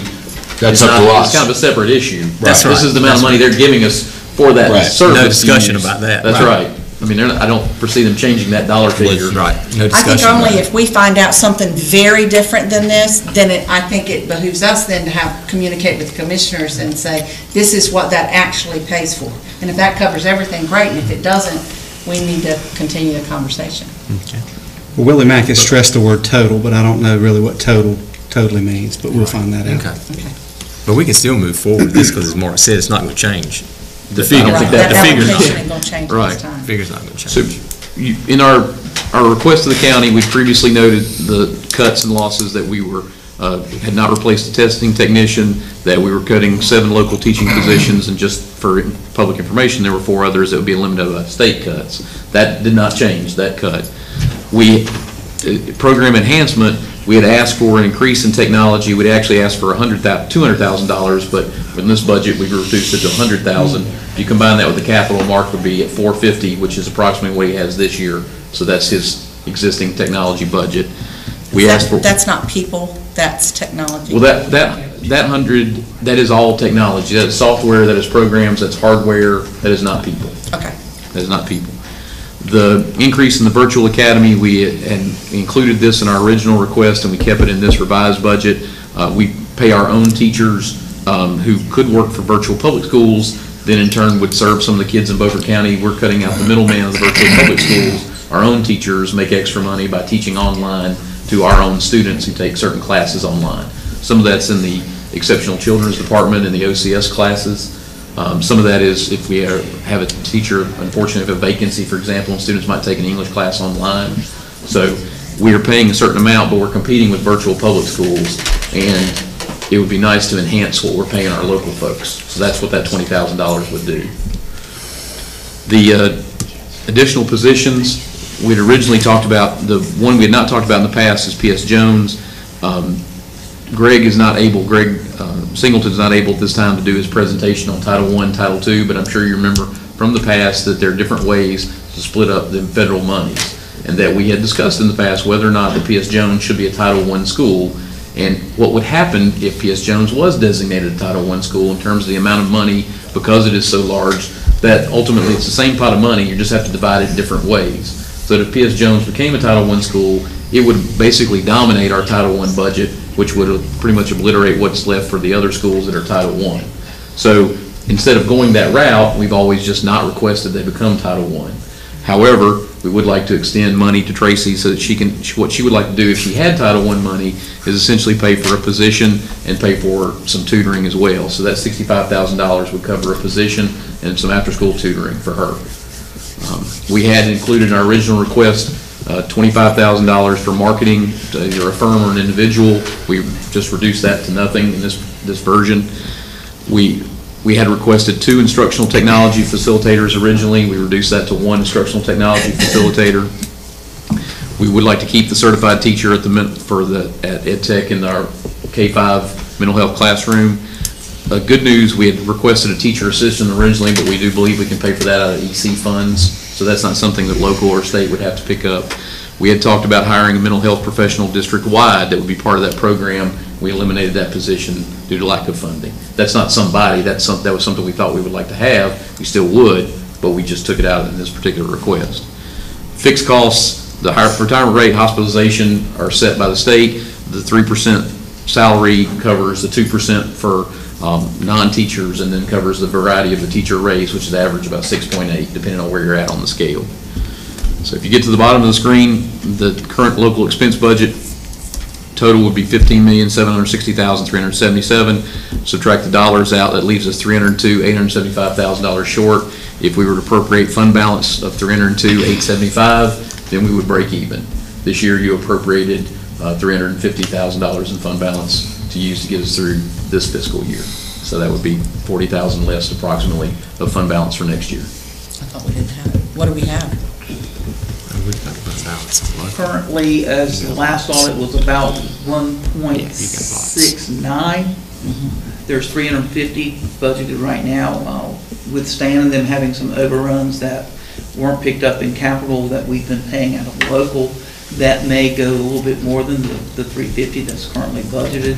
So if you're looking at three fifty this year, if we use all of it that's budgeted, three hundred and two in this budget, so it's what, six fifty-two? So we're close to a million, a little over a million dollars that would be available at the end of June of nineteen. Uh, Dr. Phipps, you and, and Michael have been working on that mental health piece. Where are we on that? I hate that, I hate to think that we've taken that out. I mean, That, that, this was the one that we were talking about paying out of our funds. We're still We're talking still about working on that, Golden? Leaf and Kate B. Reynolds and, and anybody else that could be a funder that we can work on. Um, I want to continue that work with Beaufort when I'm not here as part of the work that I'm doing in Caldwell uh, that involves mental health. So it's going to be something that we continue to work on. There's, uh, there was something that was in the Wall Street Journal about three days ago, um, uh, about the mental health components that were being put nationwide in the schools, uh, that there will be more grant opportunities coming up and that schools need to jump on them immediately. Uh, And the article was mainly about all the school shootings, that if some of these mental health components had been in place, if some of these kids had a place to turn, that some of that can be circumvented, or at least it would red flag students if, if there were people at each school. But what I thought was the most interesting was that it did talk about the use of, of school monies and state monies and how it filtered down, and when you got down to it, that's always the first thing that we take off the table. And that schools, and I just want us to be proactive on that and not take it off the table and continue to beat that drum. We cannot sit here and act like it will never happen in Beaufort County. We just Well, can't. It it has to be reflected in priorities as far as budget goes, and the state has talked about doing some things under school safety that goes beyond They have. SROs, but it's the mental health compe- Yeah. component. And there may be some opportunities that would not require us to have to go to an outside funder, although we're willing to do that. There may be some opportunities through the General Assembly that will come around, but we're still hopeful. In fact, the SRO dollar, the two-for-one dollar that we've uh, matched, that we've had for a while, they didn't award those this year because they're waiting to find out what the General Assembly is going to do. Not that they haven't awarded them, they're just de- delaying that. So I'm hopeful that there'll be a bigger component to this. Mark and I are going to a meeting uh, at the end of the month that's supposed to give us an update, so hopefully we'll have some more Well, information. let's please continue to ask for that. My fear for, for us is that you cannot continue to allocate $300,000 of fund balance over and over and over and over. And we got lucky one year, and, and it's just because of the, the way that the insurance policy premiums were paid that we ended up with a little bit extra money. But uh, if we go down this road, at, at, road at this rate, we're going to have two years of survival, and then you don't have it anymore. Then you're going to have to look at a budget like this and de- determine where you're going to make $300,000 worth of cuts. And I just, I want to warn you to, to just tap the brakes and be aware of, of what we're looking at here. Good point. Good point. But how many more positions can we keep cutting? Be right. I mean, it's just. I don't think you can cut, but you can cut to the point where you're not effective anymore either, and that's, that's, I know. that's harmful. Do you feel like Well, we're not, Mark, e- we're not even moving forward. I mean, I'm, I'm sorry, guys. I mean, I know I'm the short timer here, but we're not moving forward. We're not even staying even. I mean, this budget right here, we're actually taking a step back. Yeah. Because we're taking. And now, I mean, it's unfortunate, I mean, we're limited by the funds that we're dictated to, right? Um, we gotta do the best we can with the funds that we're allotted, but, I mean, somebody's gotta wake up. I mean, we've got a responsibility to our children in this county, and it just doesn't seem like they're giving us the ammunition to be able to do it. I mean, to be quite honest. I- I'm a little disappointed. Not in us, not necessarily, but It becomes harder As and a- as a harder whole. to meet their needs. And their needs are becoming greater and greater. They Right. really are. We're Well- not seeing them become. You know, the, the thing that I think gets lost when we do every, every year annually, we look at this budget, if you look at the bottom area under fixed costs, Those are things we have no control over. And that comes up to $402,000 that could be used in a, in a variety of ways. But, but people just, I don't, I don't understand that, we, we seem to lose the fact that we aren't going, we- we're not even staying where we were because these costs are setting us back. Even though it looks like on- from a budget perspective, it's the same amount of money, we're having to spend more for, it, it's just, the math i- is, is hard to Well, swallow. then when you then what look are we at going to fixed do with costs. the brick and mortar issues at, uh, like at Right, at Washington High. School? That can't last much longer. No. I mean, these, these outside No, uh, they- buildings that we've, that we've, I guess They you call only have so many buildings. orange cones they can put in corners and say, don't step there, you'll go through the floor. I Right. mean, really, how much longer do you do that at, at a high school that I know. is? Well, what we keep doing is taking the things that we can't do in the one year with the money that they give us and put it in the three to five year. And that three to five year, it- I mean, you know, it- that's more like a 15 to 20 year at the rate, at the money we're getting. We're on a I path mean, to We can't. self-destruction. Things are getting Just worse. getting worse and worse. And when you get to doing, I mean, you know, we're talking about Jones money more doing work at Northside. professional. And, I mean, that school, that school's 30 years old. It's not a new school. Um, That's you what know, I'm saying, we're doing something at Northeast, and I look at how much older Northside is. I- If I could, and I know that mechanically we can't, I would flip it. We'd be doing the revamping for fifty thousand at Northeast and, and replacing the chillers at Northside, because Mhm. that's an older school. But mechanically, we're wiser to do it the opposite way, but Let me ask a question, and I'm the guy that for the last several years has been pounding on Title I monies for other schools. But with what we have to work with, as, as you say, we're working what we have to work. Do we seriously need sixty-five thousand put into that program at PS Jones more than we need a mental health professional in our schools? I schools? would think not. I mean, I don't want to cut anything, but we've been talking mental health piece for year after year after year, and it's only getting worse in the school all the time. cannot keep taking I- We, we can't keep taking that off the table. I mean, we're losing, you know, teaching spots. We already have high schools complaining, uh, or school, or parents, not the schools, parents complaining about what offerings we don't have at the schools anymore. And their chi- children are leaving, they're taking them out and sending them to places like Parrott Academy, I'm just use, I'm not against Parrott Academy, it's just the one I thought of. I mean, it's- or sending them to other places, which makes the system even worse because then our ADM goes down, so the money goes down, right, Don? Yeah. So it, it just compounds itself. But sooner or later, we've got to do something other than use a Band-Aid and fix something. But the mental health piece in our schools is, is really, needs attention. But I mean, just, just looking at it saying, not too many lines you can look at, really. Nope, there aren't. Any other questions? Just my thought. But this is Concerns? non-action. Non-action tonight, We still have some more time to discuss this. to the 27th of June. Okay. So would you like me to bring back another version to discuss on the 27th? Is that what I'm hearing? I think we're all ears right now. Okay. Oh, you're you're saying, go ahead? Yeah, I, Yeah, we want to try to figure out a way to keep them in. I'm only one person. I'm not going to support this version. So the board would like two versions to vote on? Does that sound good? I would. I'm just saying I would. Okay. I see a lot of nods that yes, I'd I like a think different most version. of us here are concerned that we've taken out that mental health Okay. component. Try it one more time. I will bring back a different version on the 27th. If I've got to dip into uh, uh, our fund balance, I'd much rather dip into it and put the mental health piece back in. I just would. And, and then work our tails off to try to get some grants or funding in here to put it back. But that, I, I just think you've got, we've got to quit taking that off the table, people. And your grants and funders are going to be more receptive to you if you Made an effort. are also making an effort on your side. That's right, we've got to Gotta show help that we're being yourself. proactive and not that we're keep waiting for them to fund it. Got to help yourself, mm-hmm. son. Would you let me bring both back, or you want to proceed with the capital and? I mean, Bring both of them back. I'll Just do bring them that. back. Okay. All right. Even if you don't change Change. anything on the capital. Yes, sir. We would like to make you earn that interim money. That don't start until July Technically, I haven't started yet. Don't let that stop you. We just want to give you a taste of what it's going to be like. Well, Mark, Mark, you've already got to bring back the capital because we made it, we made it a, uh, an It was adjustment on the changed. knee out. That's right, that's right. Okay. So we'll fix that. Well, it's, it's a, it's a non-action item anyway. Okay. That's right. You didn't understand, but you're auditioning for this position. so, you know. I'm auditioning for a job you already gave me. Yeah. Just read the fine print. The We've been attorney known wrote to- it up. We've been known to have second thoughts before. I should have had my own lawyer, that's the problem. Whoa. Okay. Item number six, discussion action, sixth grade athletic participation. A lot of interest in the community about how the board will handle this situation, and, and I don't, I haven't really heard folks on one side or the other, people just asking questions about it, but we've talked about it, Joe's been here, uh, we've gotten feedback from principals, I think you all have talked to some folks, and we need to make a decision, because we've got a lot of work we do over the summer for physicals and concussion testing and that type thing. The question is whether or not the board will allow sixth graders to participate in middle school athletics.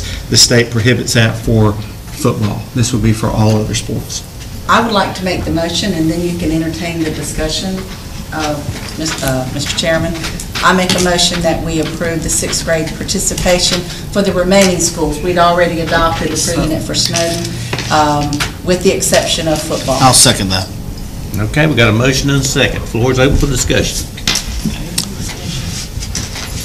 I don't think it's a good idea. Okay. Uh, I, I- I've, I've voiced my opinion before, and I'm gonna do it again. Uh, I don't think, I think there's a, a definite, um, size difference between sixth and seventh graders and eighth graders. Um, I think it's gonna, I think it's gonna eventually cost us more money. Uh, one thing I will say, if it does pass, I need, I, I think we need to make sure that we don't see any JV middle school teams. I don't, I don't think we need to be creating additional teams to give kids a chance to play. Well, We're not Um, approving that in this, so. Well, now, you're approving sixth graders to play. You're No, not, but- I mean, but you we're know. not adding teams.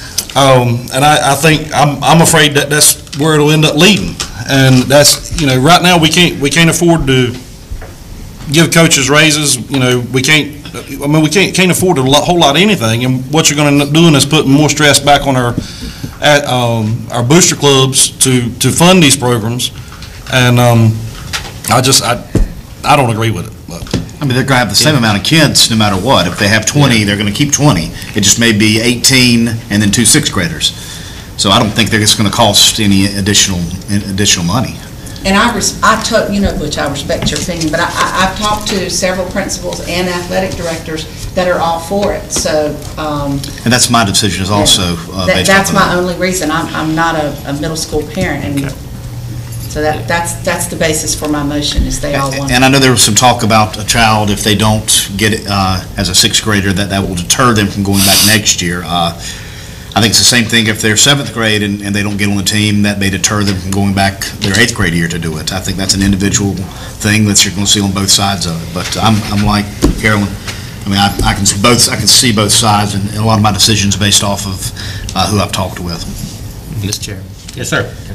Um, well, yeah, I say let them try out, but I have heard what Butch is, I have also heard what Butch is That's what I uh, said. I- I mentioning. respect that. I'm So, going um, with what if I've there told. are, if there are any schools that try to put in a second, you know, JV type, do they have to come back and still have that approved? Oh, yeah. Yes. I mean, they just don't put them in. We've- I we've mean, I got- know we approve coaches and stuff, but we approve adding teams, don't we? Or do Oh, we yeah. not? Well, you have to fund them, so Right. you would, you'd be the power of the purse, because. And looking at our budget, I don't think we'll be We able don't to. intend to do that. Because that, I mean, I, I think that's a possibility. I- I Well, we think got he's leadership right. next week, and I can make that very Make clear. sure they know That's what we're the not intent going is. to fund that. Okay, as long as they kind of. If her direction you get. Any other discussion? We got a motion and a second on the, on the floor. Seeing none, all in favor of this motion, say aye. Aye. All opposed? No. Okay. At least make sure that's noted, okay? All right. Moving on. Item six point two, budget amendments. Mr. Willie Mack Carroll. Yes, sir. Um, You have Budget Amendment uh, 61218 before you tonight. Uh, This budget resolution reflects um, the current allotments as of uh, the state allotment uh, 47. It shows the different programs that had increases and decreases throughout the year. Um, You have some transfers within the local budget uh, to cover operational costs. Uh, Your Fund Three, again, shows the allotments within the federal programs. Your capital, um, the basically the shifts that we did to accommodate shortages within the different projects that you all have been uh, approving for Stan to work on this year, as well as the standards financing of the school bus leases that are in this fund. Um, Child Nutrition receives a, a equipment grant this year. Um, Fund six reflects the revenues and expenditures uh, budgeted from those revenues for the various school funds. Fund seven reflects the activity in the three after-school programs. Uh, We have been given word that uh, one school will not run their program next year. We have talked with the auditors, those funds can be transferred to their individual school funds, and they can be tracked separately for budgeting purposes, but there are no restrictions on those monies once they go over to Fund Six. And then Fund Eight is the various activities within the local grants and remaining grant balances that we had uh, as of last year. So that will bring your budget into the current uh, date. Okay. What is the state textbook account? What, I mean, how does that work out? The reason that one is in the negative, the state textbook fund basically is um, the warehouse fund. And each year, the school systems are given allotments for Mhm. textbooks. They can transfer out, this is the last year that we can do it, that you can transfer monies from uh, PRC 130 up to one, um, to PRC 61, which is instructional supplies and materials.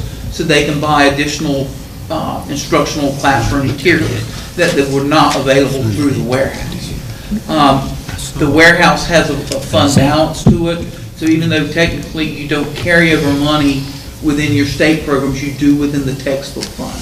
So even though it's showing there's a negative, basically we're using some of the monies that we have accumulated in prior years. Okay, but, but what I'm saying is it was two hundred fifty-two thousand. Was that us transfer out, or is that a state transfer out? This is individual schools using their textbook money to transfer money out. If you recall, when we talked earlier, uh, in the year, there was, right many schools had a large balance in their textbook accounts. The state is limiting, there again, that they won't be able to transfer those monies out for instructional supplies next year. So they're making the best of it. Uh, We've had a lot of schools that buy um, Chromebooks for their, their classrooms and the carts because they are digital instructional materials. Um, So that's been a bulk of the moves that we've had this year. Got a question. Just looking at the overall am- amended budget here.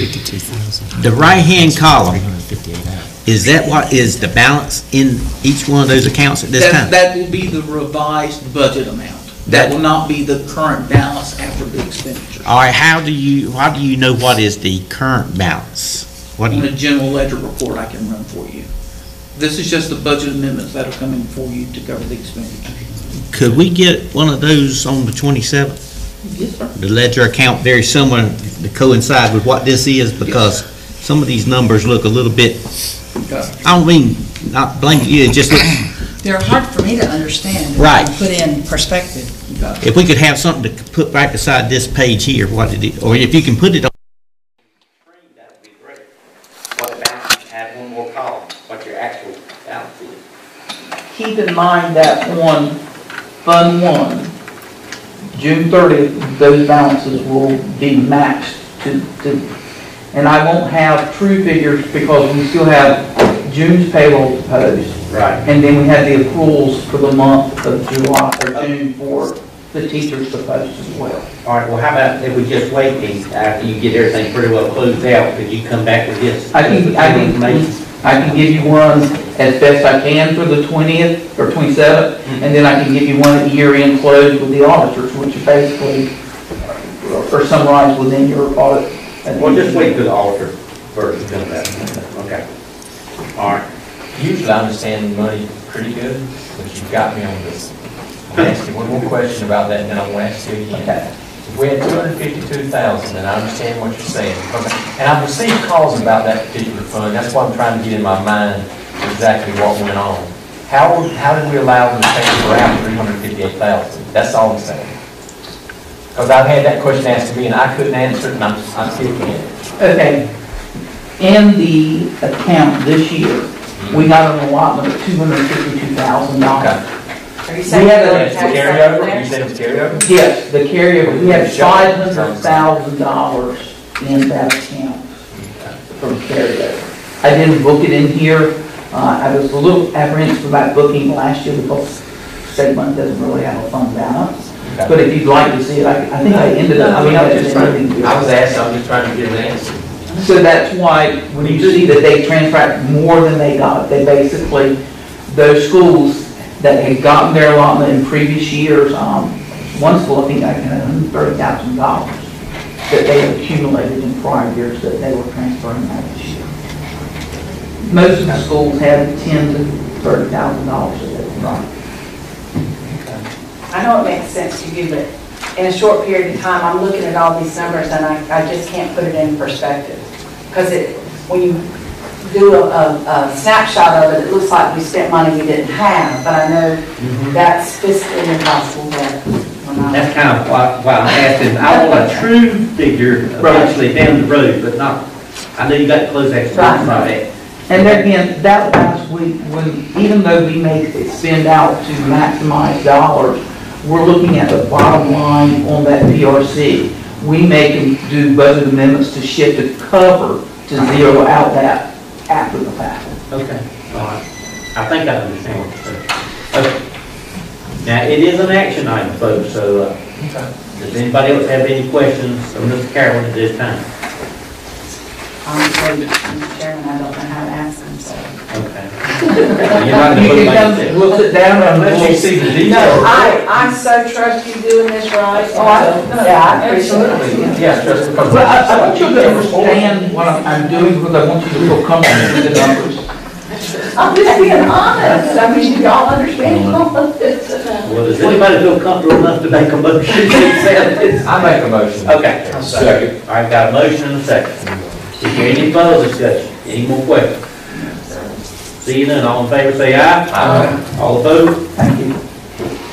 It's all in your hands, okay? All right. Don't leave us astray with it. That's right. Item six point three, custodial contract. Mr. Hudson? Is that your name down here, sir? That's what it says. I don't write them, I just read them, that's all.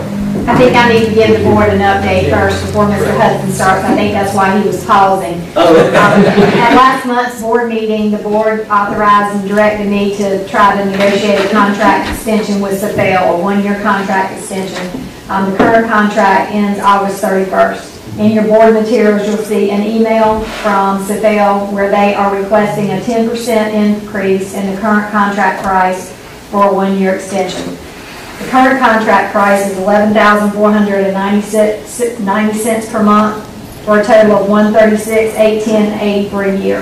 If you grant them a ten percent increase for the contract extension, it will be twelve thousand five hundred forty dollars and ninety-nine cents per month, for a yearly price of one hundred fifty thousand four ninety-one, eighty-eight. So that's my update, and then I believe Mr. Hudson has some information to share. Okay.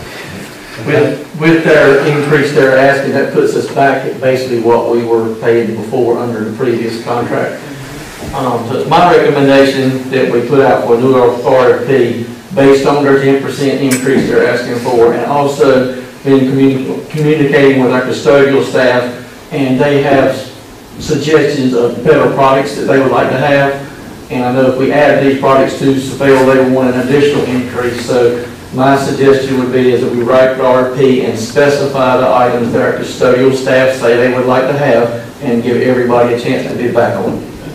Sisselville would have the same opportunity, and I have three other companies that's interested, that's been talking Brain and Supply, and another company, I can't remember the name of, but we do have a lot of locals that are, are eastern North Carolina. You, all right. You ready for a motion on Yes, sir. I move that we do not accept this and we RFP it back out.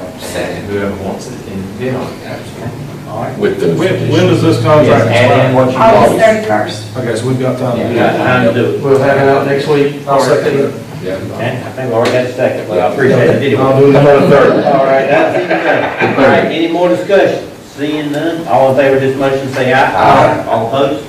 Motion passes. Carry on. Thanks, Stan. Thank you, Ms. Edwards. Okay, now I have to ask for a motion to go into closed session.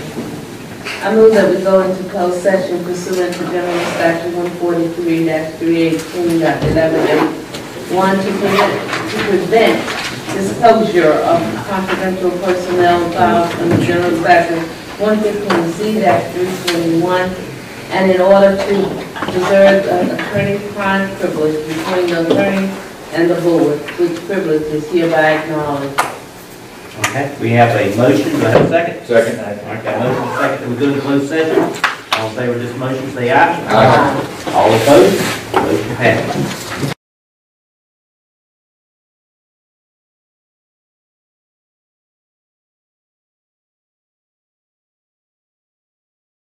We're back in open session.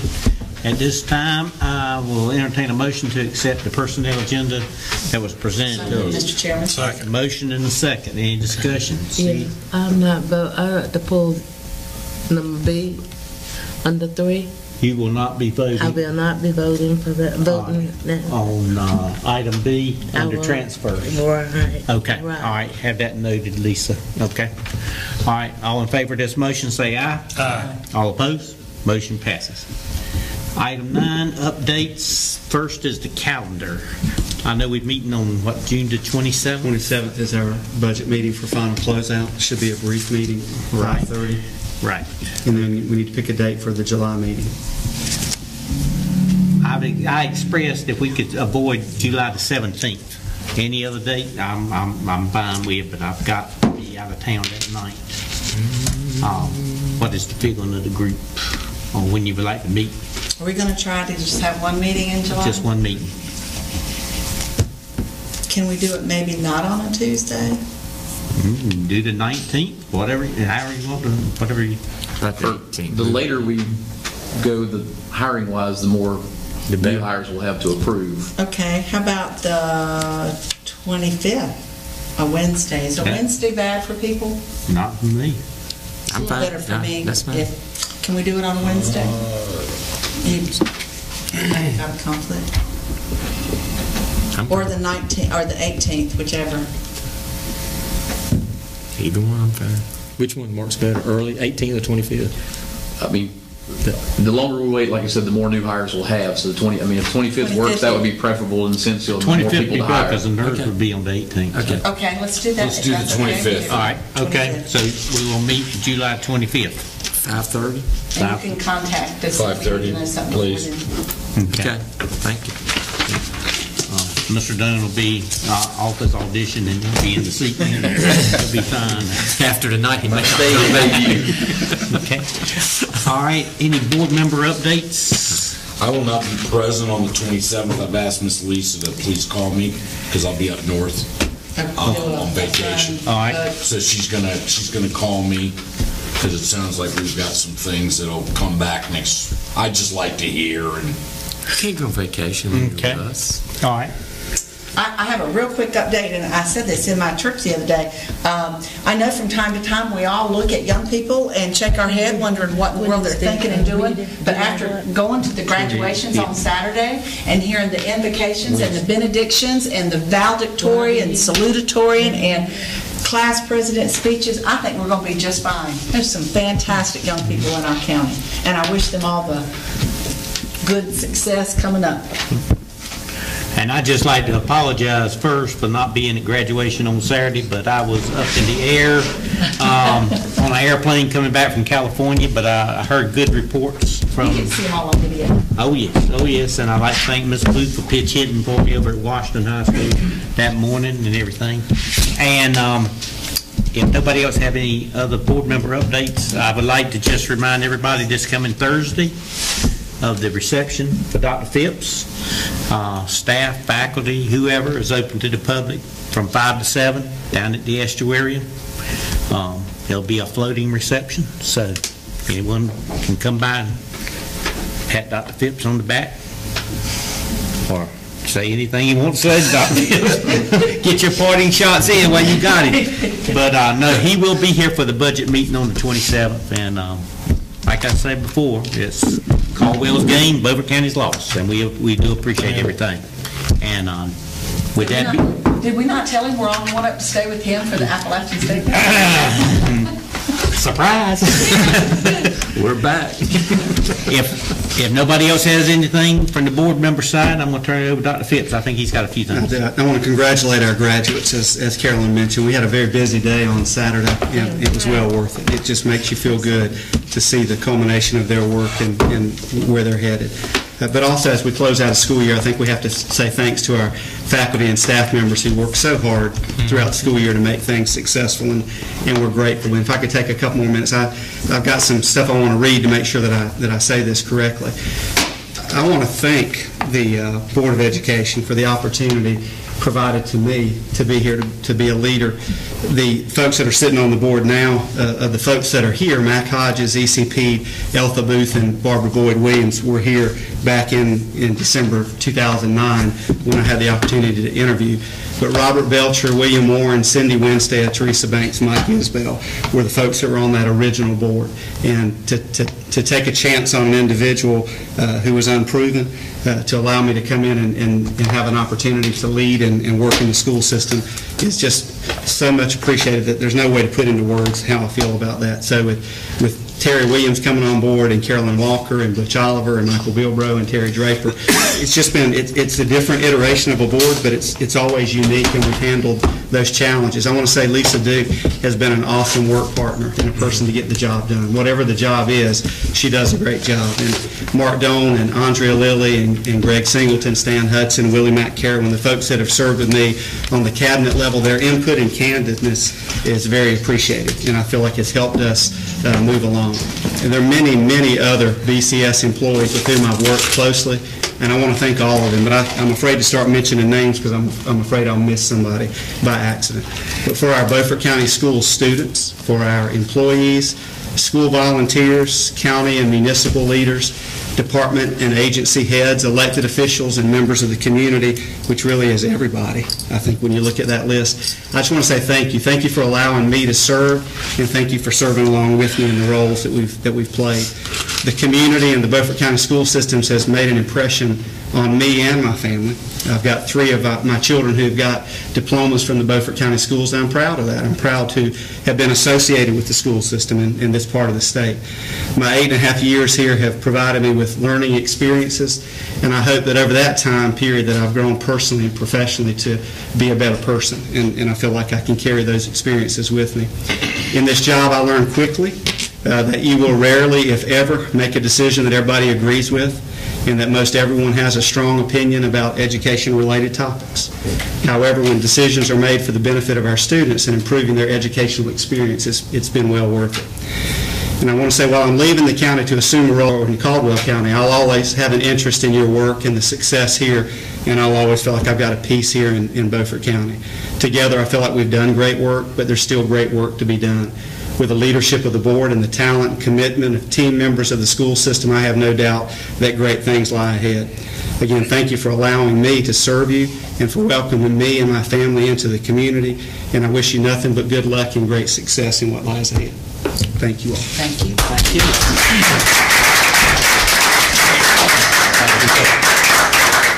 Good luck to you, sir. Thank you. Does anyone else have anything they need to say? I think we've said a lot tonight. I move we adjourn. Oh, got a motion, got a second? Got a fourth. All right. All in favor, say aye. Stand up. Okay. Good night.